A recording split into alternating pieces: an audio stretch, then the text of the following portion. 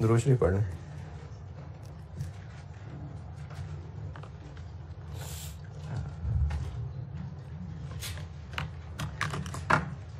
अच्छा अभी वो ना एक सवाल में गलती हो गई थी लाइन स्किप हो गई मुझसे। एक लाइन स्किप हो गई वो लाइन लिख दो।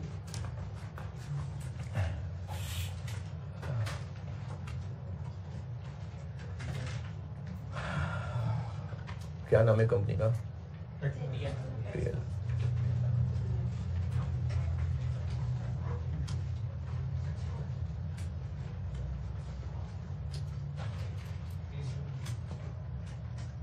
दो हज़ार बीस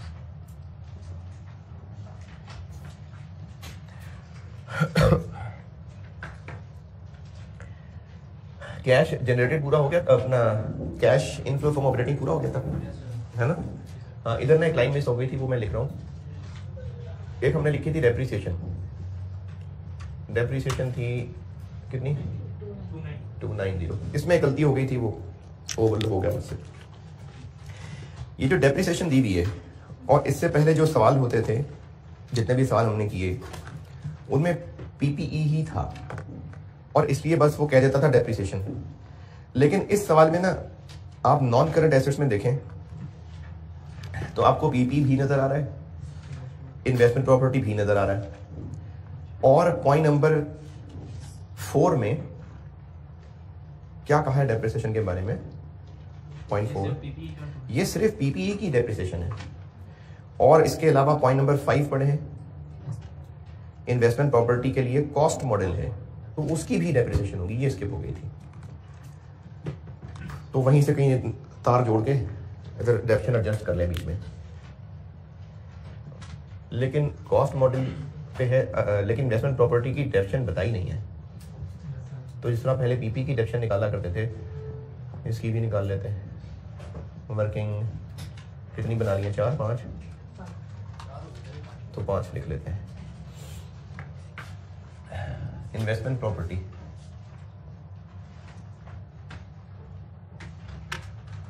opening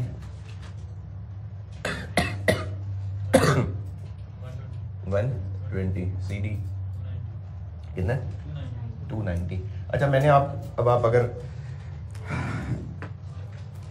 नोट्स जो मैंने आपको दिए हैं गाइडेंस के लिए, उसमें देखें तो मैंने तो उसमें इन्वेस्टमेंट प्रॉपर्टी आपको फेयर वैल्यू मॉडल वाला बना के दिए तो अगर कॉस्ट मॉडल आ गया तो क्या? पीपी जैसा ही होगा। तो वही जो पीपीई जैसी वर्किंग है वही वैसी वर्किंग है ये। बीडी दिया हुआ है सीडी दिया हुआ है और इसके बारे में और क्या पता है सवाल में? एडिशन पता है। पॉइंट नंबर फोर में फाइव में। कितनी? आप इसको जब बैलेंस करेंगे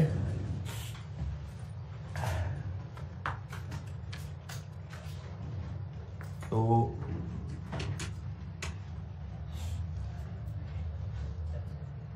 कितना? तो ये डेप्रिसिएशन ही होगी। तो इसलिए इस सवाल में इन्वेस्टमेंट प्रॉपर्टी की भी डेप्रिसिएशन नज़र आएगी। ये एक लाइन हो गई थी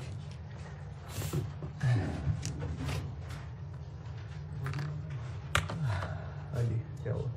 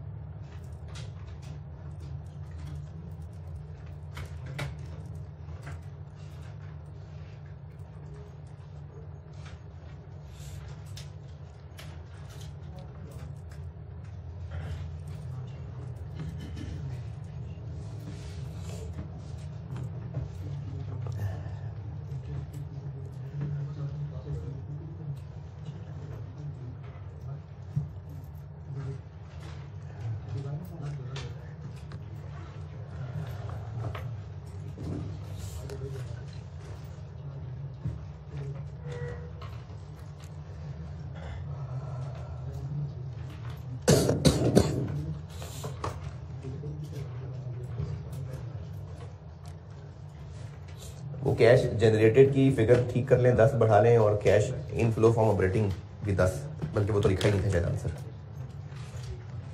कैश जनरेटेड की फिगर कितनी हो जाएगी? Four thirty four zero one हो जाएगी। और कैश इनफ्लो फ्रॉम मेरे ख्याल में अभी हम कैश जनरेटेड तक पहुँचे थे सर? हाँ कैश जनरेटेड तक पहुँचे थे? कैश जनरेटेड फ्रॉम ऑपरेशंस हाँ यहाँ तक पहुँचे थे अभी।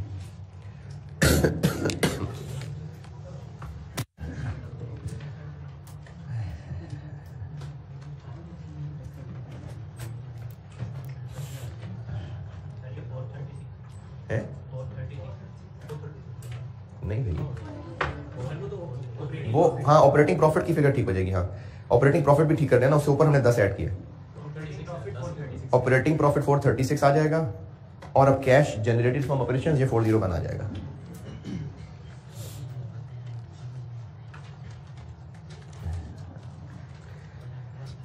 एक लाइन बीच में एडजस्ट कर लेना तो उससे फिर कैश जनरेटेड फोर ज़ीरो आ जाएगा, और operating profit four thirty six आ जाएगा।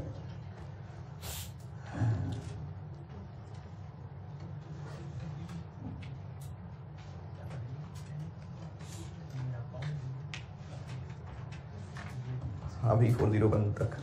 आगे। अब कैश जनरेटेड के बाद क्या होता है? टैक्स पेड तो टैक्स पेड तो है नहीं सवाल में।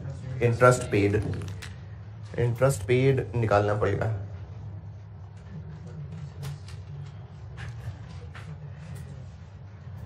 इंटरेस्ट पेबल का BD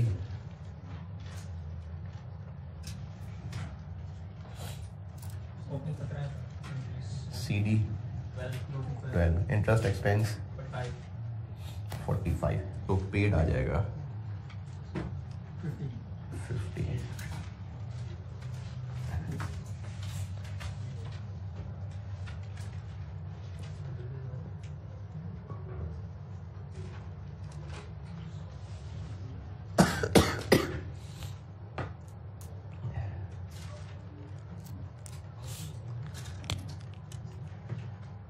ये क्या लिख लिया मैंने? इनकम थी चूँकि उसका कोई रिसीवेबल नहीं बताया। उसका कोई कहीं रिसीवेबल नहीं आ रहा ना तो फिर उतनी ही मिल भी गई होगी। तो ऊपर इंटरेस्ट इनकम कह के लेस कर दिया था इंटरेस्ट रिसीव्ड कह के ऐड कर दिया।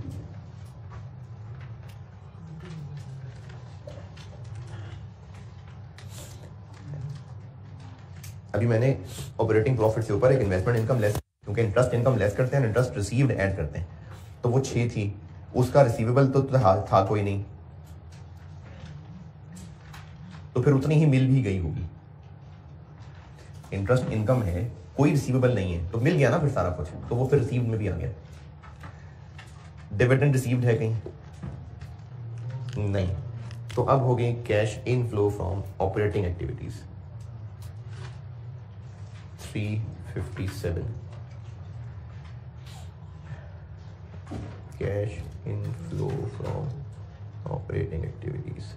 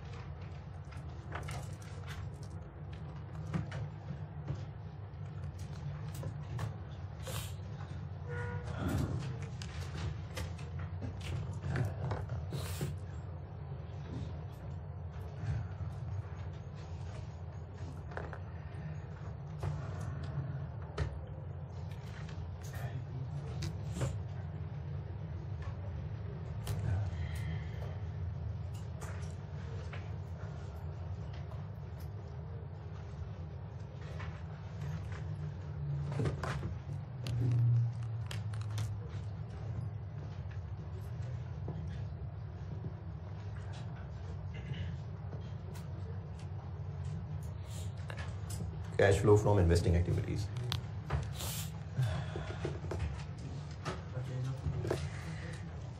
इसके लिए बनानी पड़ेगी पीपीई की वर्किंग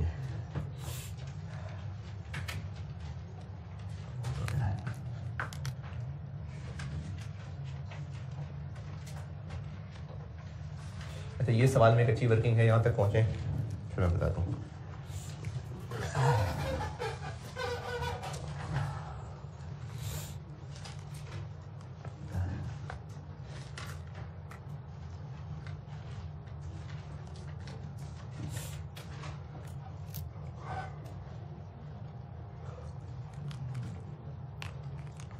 अगर याद है तो ठीक है, नहीं तो एक नज़र मार लें तो बेहतर है। मैंने ना इस चैप्टर के शुरू में जब वो वर्किंग्स की प्रैक्टिस करा रहा था तो उसमें एक ट्रांजेक्शन बताई थी कि एक एसेट ख़रीदा और उसके बदले शेयर इशू कर दिए। क्या किया था इसमें? एसेट को डेबिट किया था, जो उसकी वर्क थी कैपिटल फेस वैल्यू से क्रेडिट और जो उससे ऊपर था, वो प्रीमियम ये issue of shares cash flow होगा कोई? तब इसमें शेयर इशू करके कैश आया होगा। नहीं, हमने एक बिल्डिंग खरीदी थी बिल्डिंग प्रॉपर्टी पता नहीं क्या था, और उसके बदले शेयर इशू किए थे। तो ये शेयर के इशू अगेंस्ट कैश है? नहीं। पीपी के बारे में सवाल में देखिए क्या क्या है। सबसे पहले तो बीडीसीडी है। बीडी बारह सौ सी डी वन सिक्स अब आगे चलते जाते हैं, जहाँ जहाँ जो जो कुछ पता है। पॉइंट नंबर वन एक इक्विपमेंट 240 का जो शेयर इशू करके खरीदा। इसकी मैं आपको एंट्री ही बना देता हूँ अभी। याद आ जाए ताकि इक्विपमेंट डेबिट 240 दो मिलियन शेयर इशू किए और ऊपर बैलेंस शीट देख के पता चल रहा है कि एक शेयर फेस वैल्यू सौ रुपए है। तो कैपिटल 200 और प्रीमियम फिर 40 ये कैश ट्रांजेक्शन है। अब ये है तो इक्विपमेंट का खरीदना।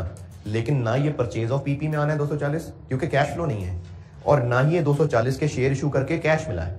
तो इसने भी इशू ऑफ़ शेयर में कैश के तौर पे नहीं आना, और ये भी परचेज ऑफ़ पीपी के तौर पे यहाँ नहीं आना, क्योंकि कैश ट्रांजेक्शन ही नहीं है। हाँ चूँकि एडिशन बहरल है तो यहाँ ज़रूर लिखेंगे।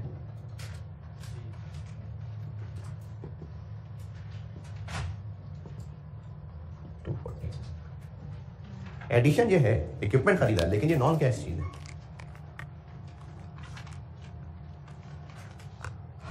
पॉइंट वन की अंग्रेज़ी पढ़ के देखिए ये बात समझ आती है। तो ये यहाँ पर PP debit point number two revaluation हुई है अपवर्ड पीपी कितना डेबिट किया था? मैंने पिछली क्लास में बोर्ड पे लिखा था। 80 तो यहाँ 80 आएगा।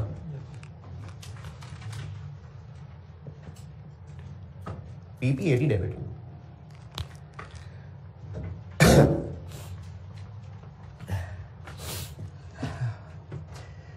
point number three कोई फैक्ट नहीं। इतना लंबा सेंटेंस लिखा है, कुछ भी लिखना है इसको? फुली डेप्रिशिएटेड है तो फिर इसकी बुक वैल्यू ज़ीरो है। तो ज़ीरो को क्या निकाले यहाँ से? इसलिए इसका कुछ भी नहीं आएगा। पॉइंट नंबर थ्री में फुली डेप्रिशिएटेड एसेट है डिस्पोजल किया है। लेकिन ज़ीरो बुक वैल्यू है, हम तो बुक वैल्यू पे ही बना रहे हैं अकाउंट तो ज़ीरो बुक वैल्यू है तो ज़ीरो को क्या लिखना है? पॉइंट नंबर फोर डेप्रिसिएशन कितनी? Two ninety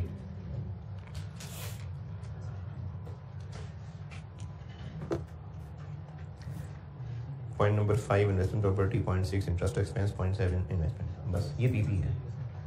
अब इसको बैलेंस करेंगे तो कैश एडिशन आ जाएगी।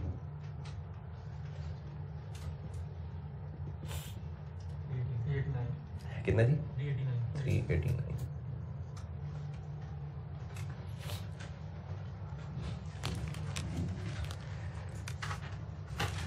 purchase of PPE working seven three eighty nine और एक लाइन मैंने पिछले बोर्ड पे लिख दी थी सेल ऑफ़ पीपीई आठ माइनस तीन पाँच।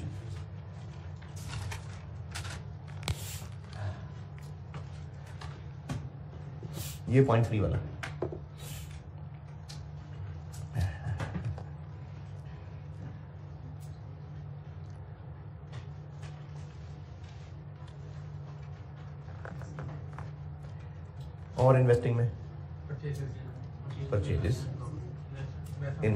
प्रॉपर्टी की परचेज हाँ वो भी है सवाल में, ये।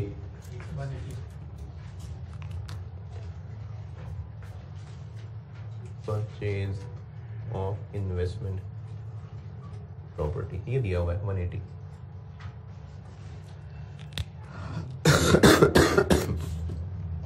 और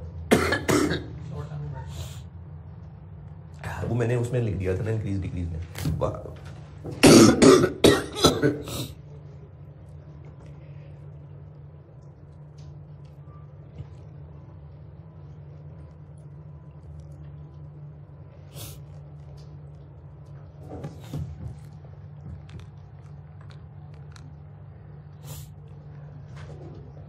और इन्वेस्टिंग एक्टिविटीज़ के लिए आपको कहा था कि नॉन करंट एसेट्स को अच्छी तरह देख लें। तो बस ये दो ही थे।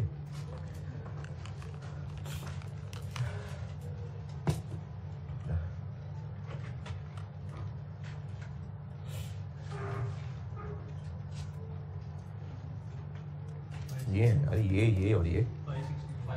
Five six four negative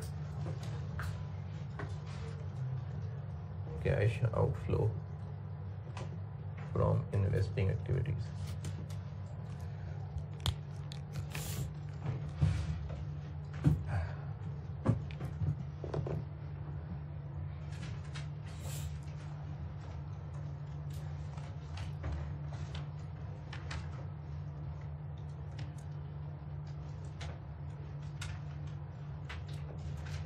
अच्छा हर कैश फ्लो के सवाल में कोई एक दो पॉइंट ही थोड़े ट्रिकी होते हैं, बाकी तकरीबन सारे एक ही जैसा सवाल है यानी आप अगर इसकी प्रैक्टिस किए हुए हैं तो सत्तर अस्सी परसेंट हर एवरेज स्टूडेंट ले सकता है लेने चाहिए है?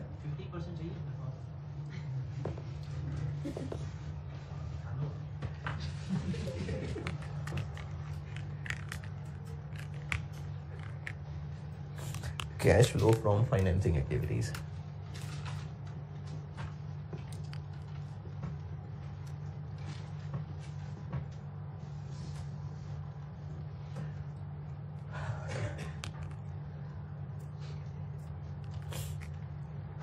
इसमें इशू ऑफ़ शेयर्स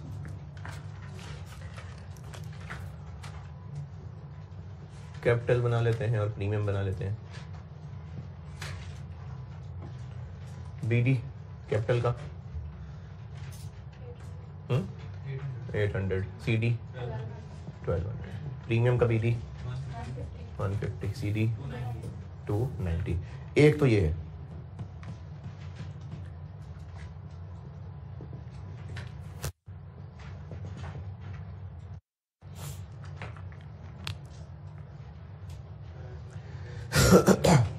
और इसके अलावा कहीं पर ऐसा कोई ट्रांजेक्शन बताई नहीं है। तो बस इसको बैलेंस करके देख लेते हैं। यकीनन नए ही इशू किए होंगे। यहाँ आ रहा है। टू हंड्रेड और यहाँ आ रहा है। वन हंड्रेड यानी total three hundred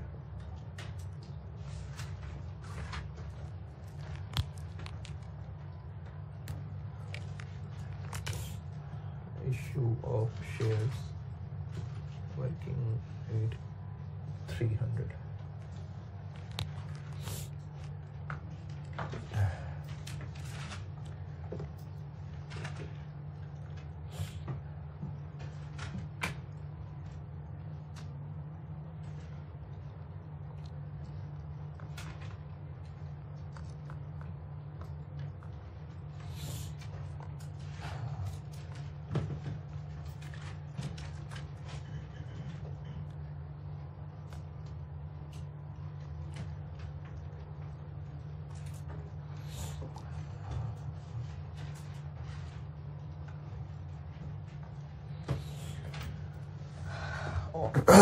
dividend paid आता डिविडेंड इस में नहीं था। वो शुरू में रिटेन अर्निंग के अकाउंट से चेक कर लिया था, नहीं था। क्योंकि प्रॉफिट ही तो निकाला था हमने वहाँ से। और लोन लोन है कोई? हाँ जी लोन बिल्कुल है और उसका करंट पोर्शन भी नीचे अलग से लिखा हुआ है।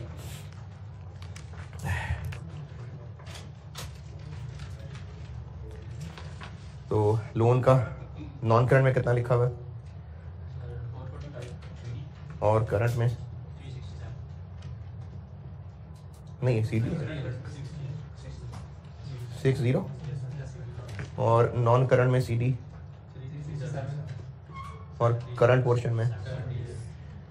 अगर तो इन दोनों में से कोई एक बताया होता तो बैलेंसिंग करके दूसरा निकाल थे। इधर न्यू लोन होता है, इधर रीपेमेंट होती है। कुछ भी नहीं बताया हुआ। बैलेंस करके चेक कर लेते हैं।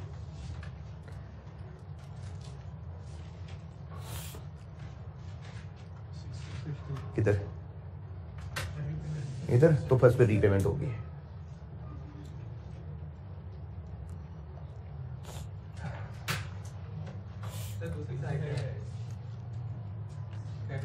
क्रेडिट साइड पे? क्या हाँ ये ज़्यादा बताए थे पाँच सौ तो हाँ। तो रीपेमेंट हो। गया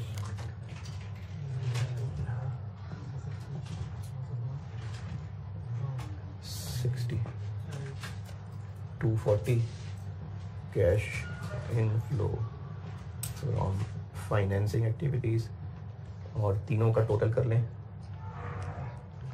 ऑपरेटिंग इन्वेस्टिंग और फाइनेंसिंग का।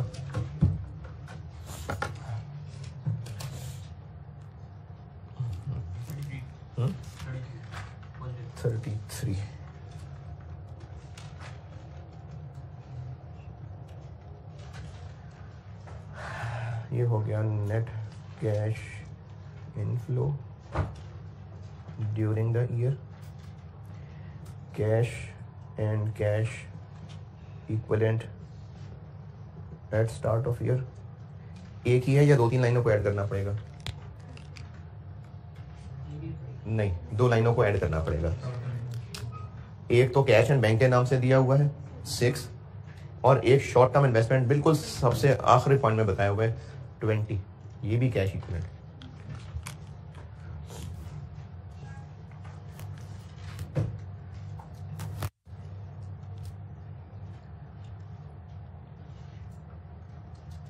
Fifty nine.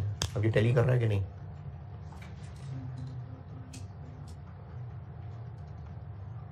कर रहा है जी। क्योंकि cash and bank twenty four है और शॉर्ट टर्म इन्वेस्टमेंट में थर्टी फाइव है। तो बिल्कुल टैली कर रहा है। Cash and cash equal and अच्छा क्यों टैली करता है ये? क्योंकि हम ये क्लोजिंग बैलेंस लिख रहे हैं तो बैलेंस शीट में क्लोजिंग बैलेंस ही आता है। अब बताता हूँ मैं आपको कैश फ्लो इनडायरेक्ट मेथड की वजह इसको नोट कर ले, फिर वजह बताता हूँ।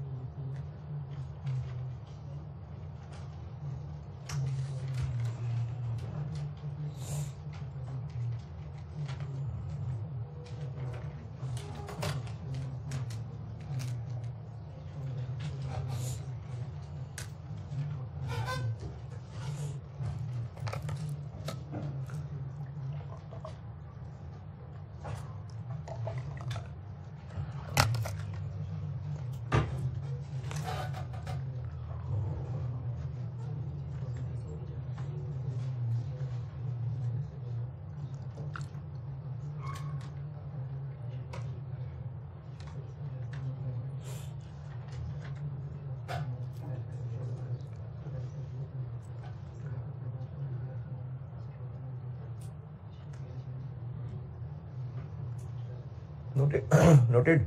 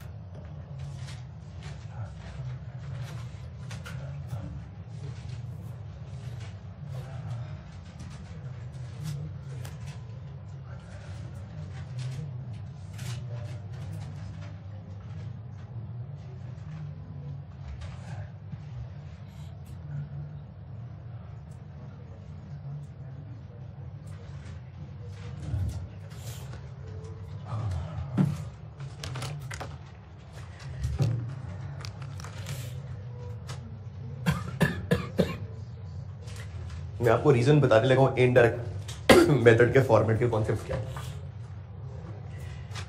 डायरेक्ट मेथड में हम लिखते हैं रिसीट्स फ्रॉम कस्टमर्स कोई और अगर रिसीट्स हैं तो? फॉर एग्ज़ाम्पल अगर कोई रेंट रिसीव है तो पेमेंट टू सप्लायर लिखते हैं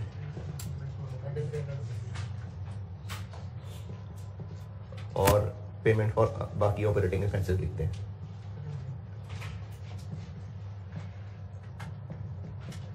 फिर आंसर आता है कैश जनरेटेड फ्रॉम ऑपरेशंस और इसके बाद क्या होता है? Tax paid interest paid interest receive interest paid interest received और डिविडेंड रिसीव्ड ठीक है, ये कैश जनरेटेड फ्रॉम ऑपरेशन से ऊपर, इसमें सिर्फ़ चार नहीं है। और इसको डायरेक्ट मेथड इसलिए कहते हैं क्योंकि कैश फ्लो स्टेटमेंट के फेस पे क्या ट्रांजेक्शन नज़र आने चाहिए? कैश इनफ्लोज और कैश आउटफ्लोज तो ये कैश इनफ्लोज हैं और ये कैश आउटफ्लोज हैं। यानी इसमें कोई शक नहीं है कि क्या ये कैश आउटफ्लो है? हाँ पेमेंट कैश पे करना है। कैश इनफ्लो है। हाँ जी कस्टमर से पैसे आ रहे हैं। फिर इसके अलावा इस सब के नीचे, यानी इन्वेस्टिंग एक्टिविटीज़ फाइनेंसिंग एक्टिविटीज़ उसमें भी सब कैश फ्लोज ही लिख रहे हैं। तो डायरेक्ट मेथड का मतलब है जिसमें कैश इनफ्लोज आउटफ्लोज डायरेक्टली बताए जा रहे हैं कि ये कैश इनफ्लो है, ये आउटफ्लो है। इनडायरेक्ट मेथड में काफ़ी सारी लाइनों के बाद जो कैश जनरेटेड फ्रॉम ऑपरेशन है, उसका आंसर यही होगा। वो जो कैश जनरेटेड इनडायरेक्ट मेथड में आएगा, वो वही नंबर होगा। जैसे इस सवाल में कितना था? कैश जनरेटेड 436 नहीं 40 में अगर इनडायरेक्ट मेथड से किया था तो 401 था। इससे करते तो भी 401 ही आना था। क्योंकि कैश जनरेटेड फ्रॉम ऑपरेशंस इस बिज़नेस का 401 था। तो डायरेक्ट मेथड से जो चार लाइनों का आंसर आ रहा है, वही इनडायरेक्ट मेथड से 400 लाइनों का आंसर आ रहा है। इसका मतलब है वो जो 400 लाइनें हैं, वो हैं तो इन चार ही के बराबर। यानी घुमा फिरा के बाद फिर वो यही हो रही है।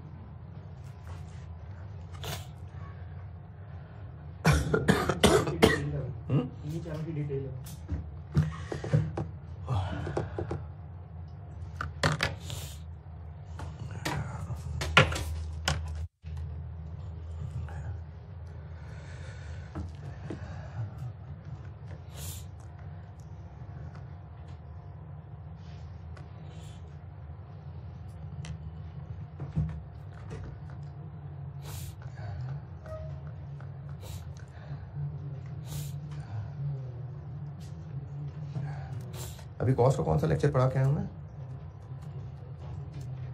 नाइन्टी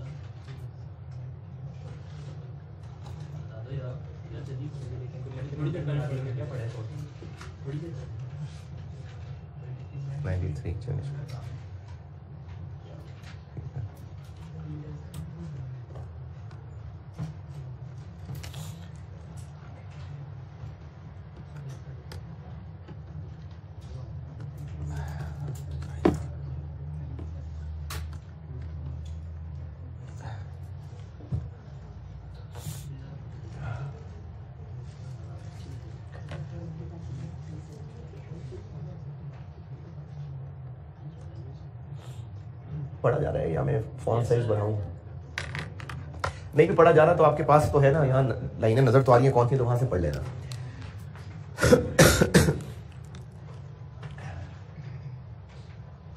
नहीं। ये कैश जनरेटेड फ्रॉम ऑपरेशंस है। ये दोनों बराबर होंगे। इसका मतलब ये सारी लाइनें आपस में प्लस माइनस होके चीज़ यही बना रही होंगी। तभी सेम आंसर आ रहा है। इनडायरेक्ट मेथड में स्टार्ट कहाँ से हो रहा है? प्रॉफिट बिफोर टैक्स से। इनडायरेक्ट मेथड में प्रॉफिट बिफोर टैक्स से स्टार्ट करते हैं और इसको एडजस्ट करते हैं। ये सारी एडजस्टमेंट्स हैं। ये जो यहाँ प्लस माइनस है ना, ये कैश इनफ्लो आउटफ्लो नहीं लिखा हुआ। डायरेक्ट मेथड में जो कुछ भी प्लस माइनस लिखा हुआ है, वो सब कैश इनफ्लो और आउटफ्लो है, क्योंकि ये कैश फ्लो स्टेटमेंट है। जो भी पॉजिटिव है वो कैश रिसीव हो रहा है, जो नेगेटिव है वो कैश आउटफ्लो हो रहा है। लेकिन यहाँ से लेके यहाँ तक, जो कुछ भी प्लस माइनस लिखा हुआ है, वो कैश इनफ्लो आउटफ्लो नहीं है। वो एडजस्टमेंट्स हैं। प्रॉफिट बिफोर टैक्स से किया जाता है स्टार्ट और कैश जनरेटेड फ्रॉम ऑपरेशंस तक पहुँचने के लिए इसमें तीन तरह की एडजस्टमेंट्स की जाती हैं। अगर एक बिज़नेस सारी की सारी सेल्स कैश पे करता हो सारे के सारे खर्चे कैश पे कुछ उधार पे ना हो। तो ये जो कैश जनरेटेड फ्रॉम ऑपरेशन ये इधर इधर। ये जो कैश मैंने कहा कि अगर एक बिज़नेस सारा कुछ कैश पे करता हो कैश सेल्स ही हो बस कोई क्रेडिट सेल ना हो। सारे के सारे खर्चे बस कैश पे ही हो कोई प्रीपेड नहीं कुछ एक्रूड नहीं। तो इनका जो नेट आंसर है वो प्रॉफिट ही तो होना चाहिए। परचेजेस सारी की सारी कैश पे। कोई स्टॉक नहीं सब बेच दिया। ये सेल्स आ गई। जितने एक्सपेंसेस रह गए वो ये आ गए। कोई अदर इनकम रह गई तो ये आ गई। अगर एक बिज़नेस सारा कुछ कैश पे डील करता हो, कोई स्टॉक्स ना हो, कोई डेटर नहीं, कोई प्रीपेमेंट नहीं तो इनका जो आंसर है, वो प्रॉफिट ही होना चाहिए ना। यानी ये figure profit before tax cash generated के बराबर ही होनी चाहिए थी। अगर नहीं है तो कोई रीजन होंगे। तो हम प्रॉफिट से शुरू करेंगे, और वो जो इनमें फ़र्क है किन में फ़र्क? प्रॉफिट में और कैश जनरेटेड में, वो फ़र्क यहाँ प्लस माइनस करते जाएँगे। ताकि वो एंड तक कन्वर्ट हो जाए किसमें? कैश जनरेटेड फ्रॉम ऑपरेशन में। ये की एडजस्टमेंट्स हैं। एक वो एडजस्टमेंट्स होती हैं जो कि इनकम एक्सपेंसेस ज़रूर हैं, लेकिन नॉन कैश आइटम्स थी। जैसे प्रॉफिट निकालते हुए डेप्रिसिएशन एक्सपेंस माइनस हुआ हुआ है। देखिए प्रॉफिट होता है इनकम्स और इनकम स्टेटमेंट है ना सेल्स कॉस्ट ऑफ़ सेल्स तो प्रॉफिट है इनकम्स और एक्सपेंसेस का नेट इनकम और रिसीट में फ़र्क है। एक्सपेंसेस और पेमेंट में फ़र्क है। तो प्रॉफिट निकला हुआ है इनकम्स और एक्सपेंसेस को नेट करके। कुछ ऐसे एक्सपेंसेस भी तो हैं जो कैश फ्लो नहीं है नॉन कैश आइटम्स हैं। तो प्रॉफिट निकालते हुए अगर ऐसे एक्सपेंसेस माइनस हुए हुए हैं जो कि नॉन कैश थे तो कैश तक पहुँचने के लिए एड बैक कर देते क्योंकि असल में ना हम बना कैश फ्लो रहे मैं स्टार्टिंग बात दोबारा करता हूँ। अगर बिज़नेस सब कुछ कैश पे करता, सारी इनकम कैश पे होती, सारे एक्सपेंसेस कैश पे होते तो यकीनन ये प्रॉफिट ही के बराबर होता। कि नहीं? लेकिन अगर फ़र्क है तो वो फ़र्क इस वजह से हो सकता है कि नहीं नहीं, सारे नहीं है कैश एक्सपेंसेस कुछ नॉन कैश एक्सपेंसेस भी हैं। प्रॉफिट निकालते हुए वो एक्सपेंस के तौर पे माइनस हुआ है, लेकिन हमने पैसे तो नहीं दिए किसी के डेप्रिसिएशन तो जो भी income statement for the year में हमने ऐसे एक्सपेंसेस और ऐसी इनकम्स जो कैश नहीं होती उनको रिकॉर्ड किया हुआ है, पहले उनको रिवर्स कर देंगे। जैसे इस पूरी लिस्ट में से, ये नॉन कैश चीज़ है। डेप्रिसिएशन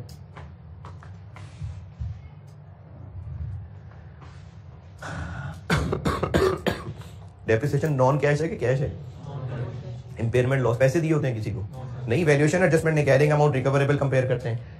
ये नॉन कैश है, ये नॉन कैश है loss on disposal non cash है। क्योंकि अगर एक बीस बुक वैल्यू वाली चीज़ पंद्रह की बेच दी तो पाँच का लॉस है तो पाँच पैसे थोड़ी दिए किसी को। तो ये नॉन कैश चीज़ है। रिवेल्यूशन लॉस क्यों नॉन कैश है? ये भी वैल्यू डाउन हो गए पैसे थोड़ी पकड़ाए किसी को तो ये भी नॉन कैश चीज़ है। Bad debt expense non cash है, पैसा डूब गया नॉन कैश है। Fair value loss non cash है। Fair value gain fair value gain non cash चीज़ है। ग्रांट इनकम हाँ ठीक है। हाँ जी, बल्कि ग्रांट इनकम रहने देता हूँ। Revaluation loss reversal revaluation loss non cash non cash है ना? Profit on sale of asset ये कैश है। क्यों कैश है?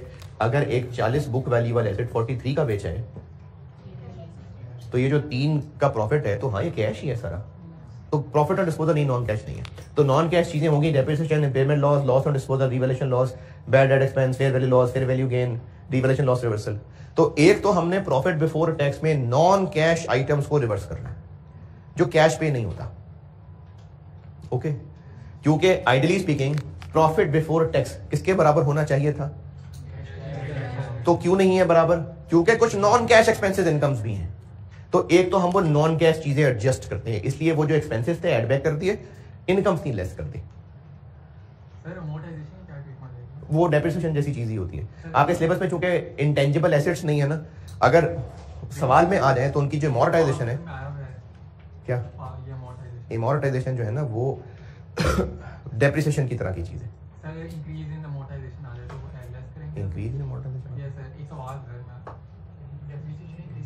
increase in amount जैसे वो पिछले साल से उसने कहा कि इंक्रीज हो गई है तो उन्होंने सब डिफरेंस लिया हमारा दिखाओ। तो मा- अभी increase- अच्छा।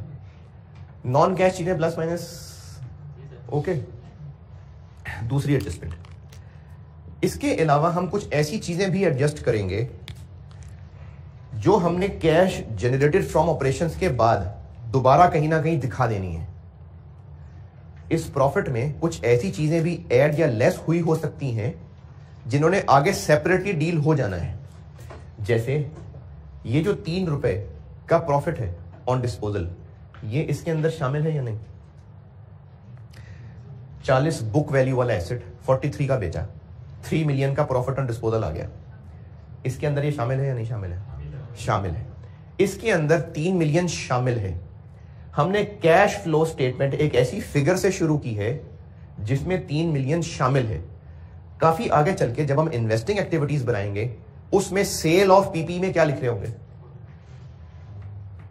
इन्वेस्टिंग एक्टिविटीज़ में सेल ऑफ़ पीपी में क्या आ रहा होगा? 43 ना? तो 43 में वो थ्री शामिल है।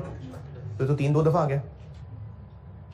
ऊपर प्रॉफिट से स्टार्ट किया उसमें ये एज एन अदर इनकम शामिल है। और नीचे जाके जब हम सेल ऑफ़ पीपी लिखेंगे 43 तो 43 में थ्री है तो तीन तो दो दफ़ा काउंट हो जाएगा। तो इसलिए यहाँ से निकाल दिया। ये यहाँ से निकाल दिया। इसी तरह कैश जनरेटेड के नीचे इंटरेस्ट पेड आ रहा है। ये हमने यहाँ लिखना होता है। प्रॉफिट में इंटरेस्ट एक्सपेंस चार्ज हुआ हुआ है। अच्छा बेशक एक्सपेंस और पेड अलग अलग चीज़ें हैं, लेकिन इंटरेस्ट एक्सपेंस इस प्रॉफिट में चार्ज है। Interest expense for the year है प्रॉफिट निकालते हुए माइनस हुआ है ना? तो हमने कैश फ्लो स्टेटमेंट एक ऐसी फिगर से शुरू की,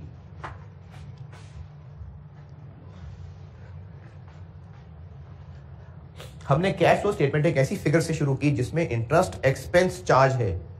आगे जाके हमने इंटरेस्ट पेड माइनस करके दिखाना है। तो ऊपर एक फिगर से स्टार्ट कर रहे हैं जिसमें से इंटरेस्ट एक्सपेंस माइनस हुआ हुआ है। आगे जाके इंटरेस्ट पेड भी आउटफ्लो दिखाना है। तो कुछ डबल डबल नहीं हो रहा बेशक इंटरेस्ट एक्सपेंस और पेड दो डिफरेंट चीज़ें हैं। लेकिन उस एक्सपेंस ही तो थोड़ा बहुत पे हो रहा होगा। और अगर ओपनिंग इंटरेस्ट पेबल का क्लोजिंग कुछ भी नहीं है तो जितना इंटरेस्ट एक्सपेंस है, उतना ही पेड है ना? तो ऊपर इंटरेस्ट एक्सपेंस भी आ रहा है और इधर आगे चल के इंटरेस्ट पेड भी आ रहा है। ये तो आना चाहिए, ये तो सही है, क्योंकि इंटरेस्ट पेड कैश फ्लो है। तो इंटरेस्ट एक्सपेंस का क्या करें? माइनस ऐड बैक कर दें। ये इंटरेस्ट एक्सपेंस ऐड बैक कर दिया। और इसी का उलट आगे चल के इंटरेस्ट रिसीव्ड हमने दिखाना है। ऊपर इंटरेस्ट इनकम भी आई होगी। वो निकाल देते हैं। हमने डिविडेंड रिसीव्ड आगे जाके दिखाना है। ऊपर डिविडेंड इनकम भी डाली हुई है। तो वो भी निकाल देते हैं। ये इंटरेस्ट इनकम और डिविडेंड इनकम दोनों माइनस तो अभी तक जो किया प्रॉफिट से शुरू करते हैं। एक तो नॉन कैश आइटम्स एडजस्ट कर देते हैं। फिर उसके अलावा वो आइटम्स जो नीचे कहीं और हैंडल हो रही हैं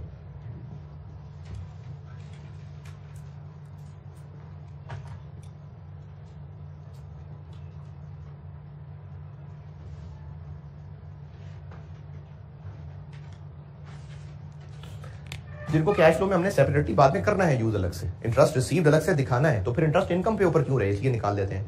इंटरेस्ट पेड अलग से दिखाना है, इसलिए इंटरेस्ट एक्सपेंस ऐड बैक कर देते हैं। टैक्स एक्सपेंस क्यों नहीं ऐड बैक किया? वो भी तो टैक्स पेड अलग से दिखाना है।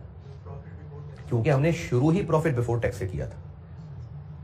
प्रॉफिट बिफोर टैक्स इसलिए कोई टैक्स एक्सपेंस नहीं ऐड बैक करना, बस इंटरेस्ट एक्सपेंस और इंटरेस्ट इनकम ही रिवर्स करना। इनमें से क्या रह गया? ग्रांट इनकम नॉन कैश भी रीजन समझ सकते हैं और ये भी देख सकते हैं कि हमने इन्वेस्टिंग एक्टिविटीज़ में उसको दिखाना तो है। ग्रांट रिसीव्ड तो इसलिए इसको रिवर्स कर दिया। या बेशक इसको नॉन कैश समझ के रिवर्स कर दें। तो ये जो चीज़ें यहाँ से यहाँ तक हैं, ये सारी या तो नॉन कैश चीज़ें थी, या वो थी जिन्होंने आगे अलग से कहीं हो जाना है प्रेजेंट डबल हो जाता, इसलिए रिवर्स कर दिया। समझ भी आ कि टाइम जाया कर रहा हूँ। तो ये यहाँ तक एडजस्टमेंट्स कर रहे हैं ताकि अल्टीमेटली कैश तक पहुँचे। अब यहाँ से आगे इंक्रीज डिग्रीज पे आते हैं।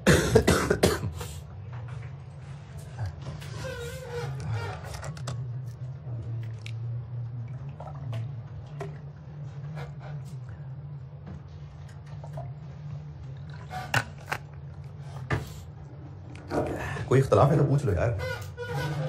पूछ लो। कौन सा सवाल है? तो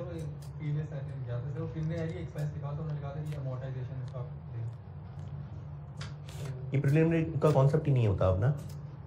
ये होगा तो कोई बहुत पुराना बहुत उन्नीस सौ समथिंग का सवाल होगा शायद। किसी पुरानी इंडियन किताब से उठाया होगा बट प्रिलिमिनरी एक्सपेंसेस का कॉन्सेप्ट नहीं होता। यहाँ तक मैं बताएँ कोई इख्तलाफ है तो? यहाँ से आगे चलते हैं ये। इनमें से मैं एक नहीं, चलो, दो समझा देता हूँ। बाकी पे फिर ऐसे ही मान लिया।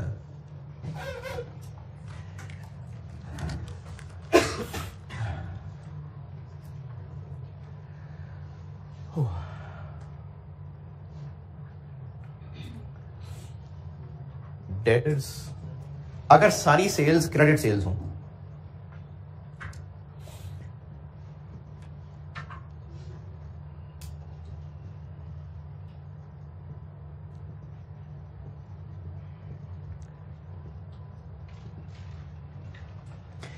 अगर सारी सेल क्रेडिट सेल्स हों तो रिसीव फ्रॉम कस्टमर्स यही होगा डेटर्स वाले ही।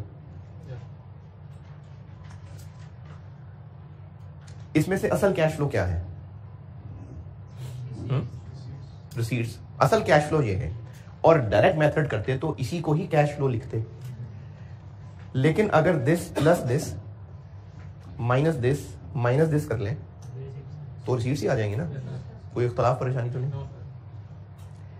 इन रिसीट्स तक पहुँचने का एक और तरीका यह हो सकता है।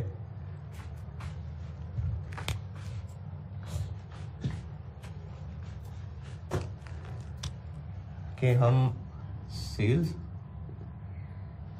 माइनस क्लोजिंग अच्छा मैं ना इसको न्यूमेरिकली भी बताऊँगा और वैसे वो जो वैसी बस बोलने वाली बात होती है, वैसे भी बताऊँगा। दोनों में से जिसको जो पिक कर ले, और नहीं भी तो करना तो ऐसे है।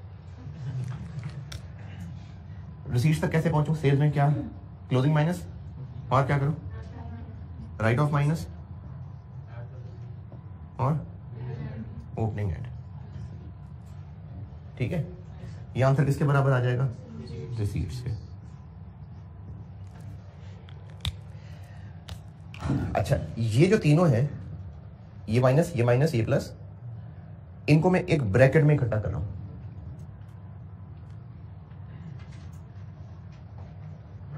क्लोजिंग इसको भी अंदर ब्रैकेट में डाल लें plus write off minus B D कोई बुरा लगाओ किसी को? इसमें से ये ब्रैकेट माइनस कर दें तो रिसीट्स आ जाएँगे। पक्की बात है। अगर ये क्लोजिंग इससे ज़्यादा है, यानी ये चीज़ इससे ज़्यादा है तो इंक्रीज इन डेटर्स है decrease in debtors closing debtors opening से ज़्यादा है तो इंक्रीज के डिक्रीज इंक्रीज यानी ये चीज़ इंक्रीज इन डेटर्स हो गई। अगर ये इससे ज़्यादा है तो इंक्रीज है ना। अगर ये ज़्यादा है तो इसको इंक्रीज कहें कि नहीं? yes, यानी minus increase sales minus increase in debtors किसके बराबर है? रिसीट्स के। हमने कैश फ्लो की फिगर एक पीबीटी से शुरू की है। सेल्स इसमें ऑलरेडी है कि नहीं है? सेल्स का फैक्ट इसमें ऑलरेडी है। बस हम ये लाइन और लिख दें तो इसमें छुपी हुई सेल्स को ये लाइन लिखना रिसीट्स में कन्वर्ट कर देगा। हमने सेल्स में सिर्फ़ ये लाइन ही लेस करनी है और रिसीट्स बन जानी है। तो प्रॉफिट बिफोर टैक्स में सेल्स नहीं शामिल है। सेल्स कॉस्ट ऑफ़ सेल्स तो इसमें सेल्स ऑलरेडी हैं। बस सिर्फ़ ये लाइन और लिखेंगे तो वो सेल्स को रिसीट्स में बदल देगा। ये रही वो line minus increase in debtors minus increase in debtors तो ये लाइन इसलिए लिखी कि ऊपर छुपी सेल्स को ये लाइन रिसीट्स में बदल देगी। तो इधर सेल्स ये मिली, साथ वो सब कन्वर्ट होकर रिसीट बन गए।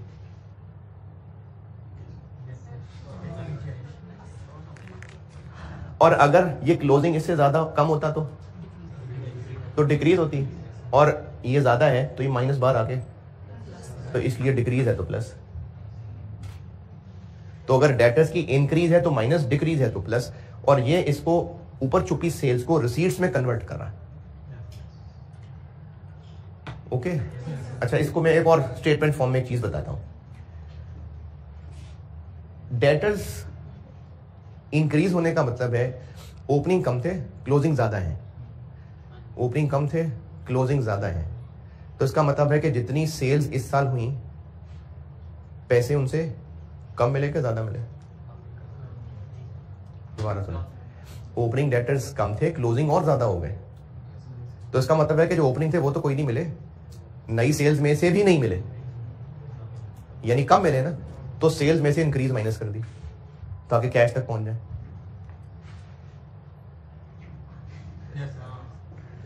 दोबारा। अगर डेटर्स इंक्रीज हैं तो इसका मतलब है कि ओपनिंग कम थे ज़्यादा है। ओपनिंग कम क्लोजिंग ज़्यादा का मतलब है कि जितने पहले मिलने थे, वो भी नहीं मिले। और इन सेल्स में से भी नहीं मिले, तभी तो क्लोजिंग और बढ़ गए। तो जितनी सेल इस साल हुई, उनसे पैसे कम मिले या ज़्यादा मिले?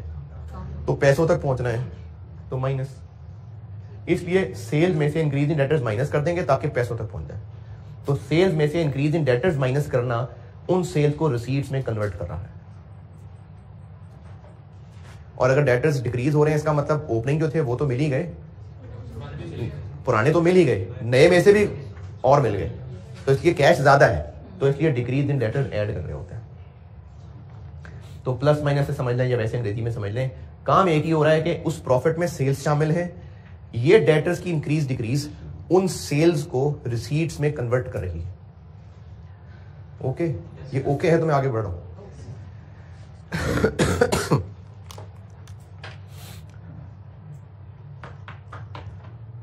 इंश्योरेंस बताता हूँ। ओपनिंग प्रीपेड पेमेंट एक्सपेंस और क्लोजिंग अच्छा अब मैं प्लस माइनस नहीं बताऊँगा। जो जो मैंने आपको ये चीज़ बता दी ना, कि सेल्स और डेटर्स की एडजस्टमेंट इनको रिसीट्स में कन्वर्ट कर दिया मैं उसी तर्ज में बोलता हूँ। इनमें से कैश फ्लो क्या है? ये कैश फ्लो है। इनमें ये कैश फ्लो है। इस तक पहुँचना है तो इसमें ये दोनों एडजस्ट कर दें। कैश ये है। अगर इसमें प्री पेमेंट का डिफरेंस प्लस माइनस कर दें तो ये बन जाएगा कि नहीं? एक्सपेंस की फिगर में प्रीपेड ओपनिंग क्लोजिंग का डिफरेंस इनफैक्ट इन तीनों को प्लस माइनस करें तो पेमेंट बन जाएगी ना। तो insurance expense for the year इसमें ऑलरेडी है। बस ओपनिंग क्लोजिंग प्रीपेड भी एडजस्ट कर देंगे तो ये उस एक्सपेंस को पेमेंट में कन्वर्ट कर देगा। समझ आ रहा है? टाइम जाया कर रहा यार। ऊपर इंश्योरेंस एक्सपेंस है या नहीं है? प्रॉफिट बिफोर टैक्स में expense for the year charge हुआ है। ये ऑलरेडी इधर है। बस ओपनिंग और क्लोजिंग प्री पेमेंट्स को हमने इसमें प्लस माइनस करना है कि कन्वर्ट हो जाएगा ये पेमेंट के अंदर। और ये इसमें कन्वर्ट हो जाएगा।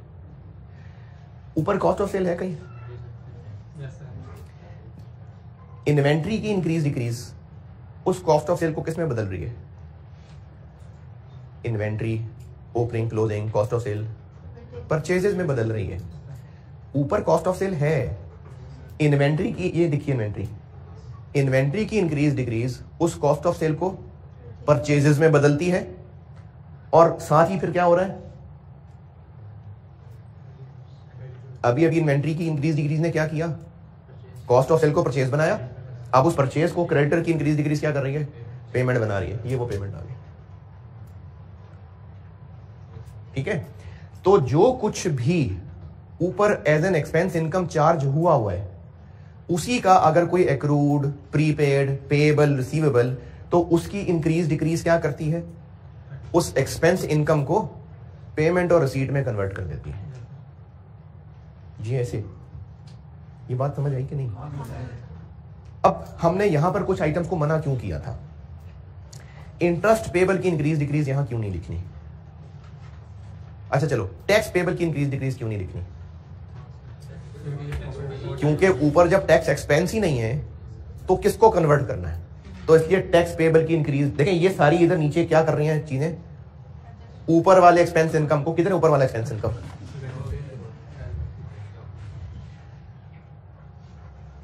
ऊपर वाला एक्सपेंस इनकम किधर है? ये प्रॉफिट के अंदर आ रहा है। तो ये वाला पोर्शन क्या कर रहा है? वो जो ऊपर एक्सपेंस इनकम है, उनको वो कैश में कन्वर्ट कर देता है। तो टैक्स पेबल की इंक्रीज डिक्रीज यहाँ क्यों नहीं लिखी? जब टैक्स एक्सपेंस हमने तो पीबीटी से शुरू किया है। जब टैक्स एक्सपेंस ही नहीं है तो फिर पेमेंट में किसको कन्वर्ट करना था? इंटरेस्ट पेएबल की इंक्रीज डिक्रीज क्यों नहीं है? क्योंकि हमने प्रॉफिट बिफोर टैक्स में इंटरेस्ट एक्सपेंस ऐड बैक करके रिवर्स कर दिया उसको। ये इंटरेस्ट एक्सपेंस ऐड बैक कर दिया ना तो उसको रिवर्स कर दिया। जब इंटरेस्ट एक्सपेंस को ही रिवर्स कर दिया तो अब क्या बचा है जिसको पेमेंट में कन्वर्ट करना था? इसलिए इंटरेस्ट पेबल भी यहाँ लिखने की ज़रूरत नहीं है। इंटरेस्ट रिसीवेबल को क्यों नहीं इंक्रीज डिक्रीज लिख रहे? उसका भी हमने सेम काम किया कि इंटरेस्ट इनकम को रिवर्स कर दिया। डिविडेंड इनकम को रिवर्स कर दिया। जब हमने इंटरेस्ट इनकम जब इंटरेस्ट इनकम डिविडेंड इनकम दोनों को रिवर्स कर दिया, खत्म कर दिया यहाँ से तो फिर उनके इंटरेस्ट रिसीवेबल डिविडेंड रिसीवेबल की भी एडजस्टमेंट की ज़रूरत नहीं रही बाकी। डिविडेंड पेएबल को क्यों नहीं लिखा यहाँ डिविडेंड पेएबल अरे वो कोई एक्सपेंस थोड़ी होता है जिसको सिर्फ़ पेमेंट में कन्वर्ट करना है। वो तो रिटेन अर्निंग से बांट रहे होते हैं। ऊपर कौन सा एक्सपेंस है जिसको डिविडेंड पेएबल ने पेमेंट में कन्वर्ट करना है? ये सारी लाइनें क्या कर रही हैं यहाँ पर? ये सारी लाइनें वो हैं, एक स्कूल के बाहर जो गाड़ियाँ, जो रिक्शे जो लेने पहुँचे हैं वो वही माँ बाप लेने पहुँचे हैं, जिनके बच्चे स्कूल में हैं। तो ये जो यहाँ पर चीज़ें लेने पहुँची हुई हैं इनको, ये सब वो चीज़ें हैं जिनका कोई ना कोई मिलने वाला ऊपर एक्सपेंस इनकम में मौजूद है। तो फिर ये उनको पेमेंट रिसीट में कन्वर्ट कर देते हैं। जिनका ऊपर है ही कोई नहीं, उनको यहाँ लाके क्या करना है? ऊपर डिविडेंड एक्सपेंस होता है कोई? तो इसलिए डिविडेंड पेबल का यहाँ क्या काम है? ऊपर टैक्स एक्सपेंस था तो इसलिए टैक्स पेबल का क्या काम था? इसलिए हमने उन चीज़ों को यहाँ नहीं लिखा। अच्छा कैश और कैश इक्विवेलेंट की इंक्रीज डिक्रीज क्यों नहीं दिखा रहे? ये सारी कैश फ्लो स्टेटमेंट उसकी इंक्रीज डिक्रीज ही तो है। ये सारी कैश फ्लो स्टेटमेंट क्या है? ये कैश की इंक्रीज डिक्रीज ही है। तो वो तो वैसे ही सारी स्टेटमेंट बन रही है। उसको यहाँ दोबारा क्या करना है? यार, ये सारी कैश फ्लो स्टेटमेंट क्या चीज़ है? कैश बैंक बैलेंस का इंक्रीज डिक्रीज है ना? तो उसको दोबारा थोड़ी इंक्रीज डिक्रीज की लाइन आइटम दिखानी है। इसलिए कैश इक्विवेलेंट को भी नहीं दिखाते। और क्या रह गया? हाँ दो दफ़ा आई अब ये बात। अभी पिछले सवाल में भी ऐसा ही था और वो 1800 18 लाख उसमें भी ऐसा ही था। अगर एक प्लांट बेचा है उधार पे और उसका एक रिसीवेबल आ रहा है वो कहीं इधर डेटर पेबल रिसीवेबल्स में आ रहा होगा क्या वो किसी इनकम एक्सपेंस के अगेंस्ट रिसीवेबल बना हुआ है? तो अगर उसको यहाँ पर हम ले आए तो वो तो किसको कन्वर्ट करेगा पेमेंट रिसीव ऊपर तो उसकी कोई इनकम एक्सपेंस नहीं है। इसलिए उस 1800 को यहाँ हमने नहीं लिखा था। ये बात देखें जो पीपीई खरीदने, बेचने का चलो अलग अलग बताता हूँ। पीपीई खरीदने का उधार है। पीपी उधार पे खरीदा है। वो कहीं ना कहीं पेबल में आ रहा है। जो प्रॉपर क्रेडिटर्स हैं, वो यहाँ क्या लेने आए हैं? प्रॉपर क्रेडिटर्स इधर कॉस्ट ऑफ़ सेल थी। इन्वेंट्री की इंक्रीज डिक्रीज ने क्या किया? उसको परचेज बनाया। तो क्रेडिटर्स उस परचेज परचेज को पेमेंट बनाने आए पीपी उधार पे खरीदा है। उसका एक पेबल आ रहा है। तो पीपी इधर का एक्सपेंस है क्या? तो इसलिए उसका पेबल इधर आना चाहिए उसको लेने? नहीं। तो इसलिए आपको उन दोनों सवालों में देखा था कि अगर कोई पीपी उधार पे बेचा था या कोई उधार पे खरीदा होता और उसका कोई पेबल रिसीबल आ रहा होता तो उनको इंक्रीज डिक्रीज से हटा देना था। इसलिए 1800 को भी साइड पे कर दिया था और आज वाले सवाल में तीन मिलियन को भी साइड पे कर दिया था। ठीक है? अच्छा करंट लाइबिलिटीज में एक करंट पोर्शन ऑफ़ लोन आ रहा है। उसकी इंक्रीज डिक्रीज यहाँ क्यों नहीं दिखाई? करंट पोर्शन ऑफ़ लोन आ रहा था अभी। करंट मेच्योरिटी ऑफ़ लोन नहीं आ रहा था करंट लाइबिलिटीज उसकी इंक्रीज डिक्रीज यहाँ क्यों नहीं दिखाई? है वो तो लोन है। तोड़ के करंट नॉन करंट में दिखाया हुआ है। उसके अगेंस्ट कोई एक्सपेंस इनकम थोड़ी है ऊपर।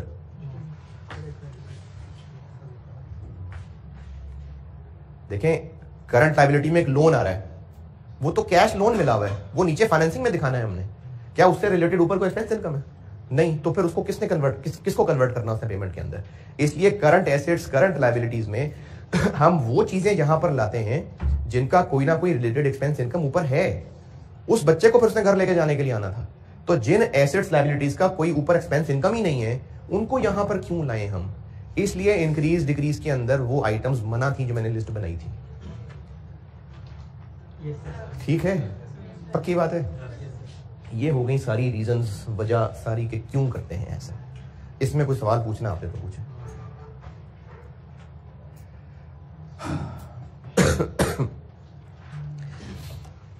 अच्छा मैं वो डिवेंचर वाला पेंडिंग पॉइंट बता देता हूँ। उसके अलावा कैश फ्लो ख़त्म है। अगर आप सवाल कर देंगे तो मेहरबानी है आपकी। एक होमवर्क और मंडे को एक होमवर्क और चला लूँगा। ताकि कैश फ्लो ये तो मैं कर रहा हूँ, आप भी तो करें ना। आप एक सवाल कर दीजिए। मैंने फोर भी कर दिया क्लास में।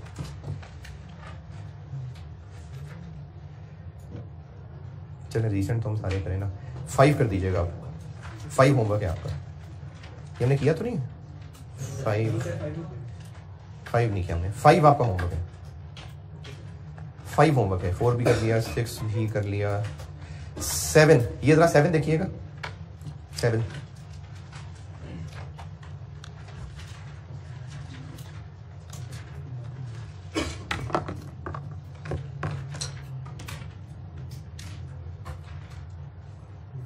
क्वेश्चन नंबर सेवन पहुँचे आठ नंबर एक इंटर्नी ने अभी ज्वाइन किया है और उसने ना कुछ सवाल पूछे आपसे आपसे। पॉइंट नंबर वन नहीं यस सर नहीं पॉइंट वन पढ़े ना। वो पूछ रहा है कि डेप्रिसिएशन तो कैश लो नहीं है। तो फिर अंकल अंकल ये कैश लो में क्यों आ रहा होता है? तो ये उसने आपसे पूछा बच्चे। ने तो वो पूछ रहा है कैश लो में फिर ऐड क्यों हो रहा है हाँ तो उसका जवाब हम ये देंगे कि हमने चूँकि कैश जो नेट प्रॉफिट से स्टार्ट किया है, उसमें वो एज एन एक्सपेंस चार्ज किया हुआ है और हम उस प्रॉफिट को कैश जनरेटेड तक पहुँचा रहे हैं, इसलिए as a non cash item इसको हम ऐड बैक कर रहे हो। ये उसको हमने प्यार से समझाना पॉइंट नंबर टू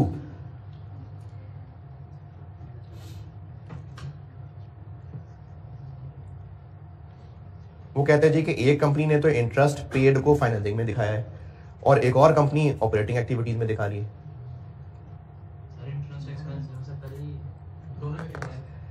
उसने कहा है कि एक कंपेटिटर की कैश फ्लो में इंटरेस्ट पेड मैंने देखा था फाइनेंसिंग में आ रहा था, जबकि हमारी कंपनी ऑपरेटिंग में दिखा रही है। तो इसका जवाब है कि आई सेवन ने इंटरेस्ट पेड को दोनों में अलाउ किया हुआ है। ऑपरेटिंग में दिखाएँगे, वो भी सही है फाइनेंसिंग में दिखाएँगे, वो भी सही है। अब ये आठ नंबर है, ये कॉन्सेप्चुअल है जो आप बस टूटी फूटी जैसी भी अंग्रेज़ी में लिख रहे हैं, बस बात पहुँचा दें अपनी पॉइंट थ्री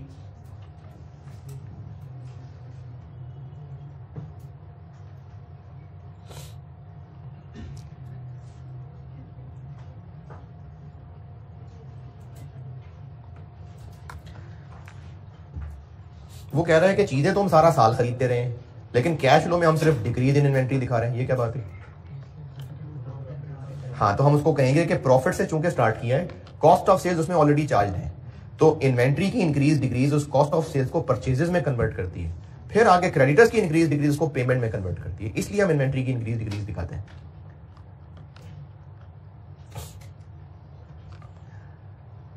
अब इस मैं तो खैर जब से कैश फ्लो पढ़ा रहा हूँ रीजन बताता होता हूँ।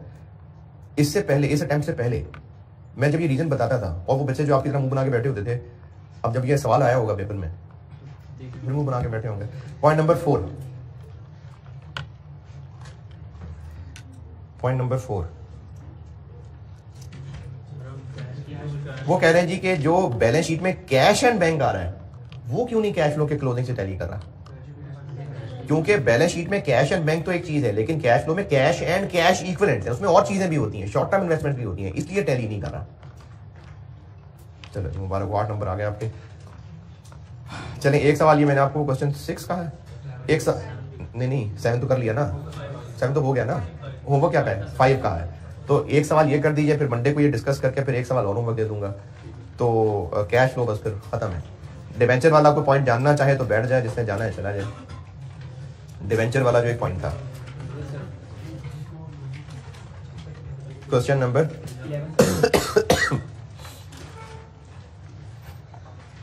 चले मैं बता तो रहा हूँ रिकॉर्ड हो जाएगा, जो कभी सवाल को कभी करेगा, कभी अगस्त में बैठने को कर ही लेता है। तो लेक्चर 96 में एंड पे देखना, मैंने डिस्कस किया होगा। डिवेंचर्स क्वेश्चन नंबर 11 कर रहा हूँ डिस्कस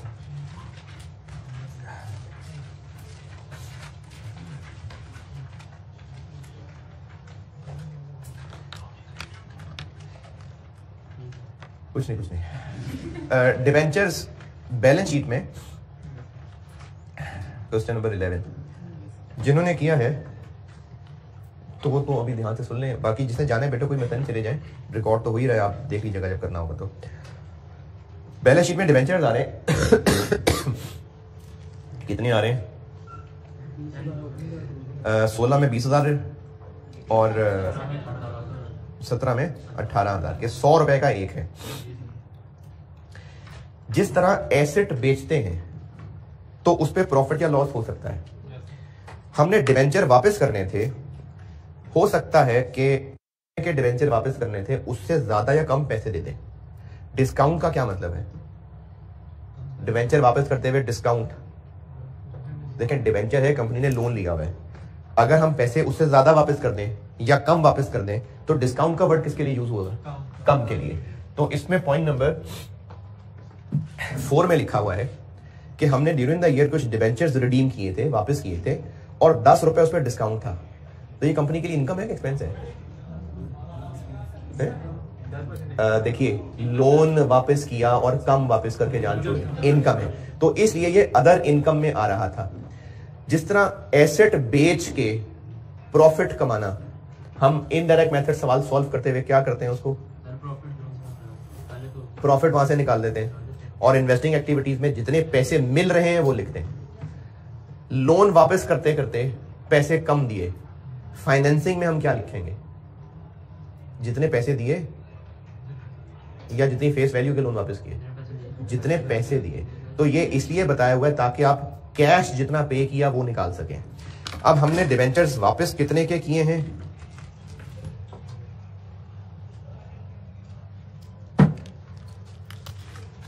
बीस हज़ार पहले थे, अठारह हज़ार अब हैं। और ये रुपीज़ इन थाउजेंड्स हैं। एक डिवेंचर सौ रुपए का। कितने डिवेंचर्स ब्रैकेट में लिखा होगा बैलेंस शीट में। ऊपर बैलेंस शीट में लिखा हुआ है। दो लाख रुपए। ये मैंने तीन ज़ीरो लगा दी सर बीस लाख दो लाख नहीं सॉरी बीस मिलियन रुपए और अठारह मिलियन रुपए। सौ रुपए का एक डिवेंचर्स कितने?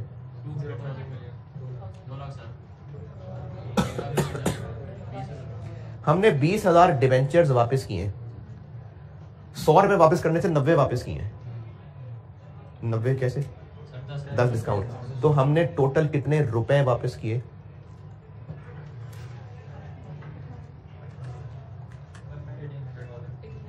ये फाइनेंसिंग एक्टिविटी में रीपेमेंट ऑफ़ लोन में आएगा। कि हमने इतने रुपए वापस किए। ये असल में ना सवाल है एफ़ ए आर टू का। उसमें बच्चों ने लीजेज भी पड़ी होती थी तो इसलिए थोड़ा हाई लेवल की एडजस्टमेंट थी। तो इसलिए इस एडजस्टमेंट को ज़्यादा दिल पे नहीं लेना आपने नहीं ये उस दौर में एफ़ आर टू में होता था टॉपिक कैश फ्लो उसके बाद फिर इसमें आया था एफ़ आर वन में।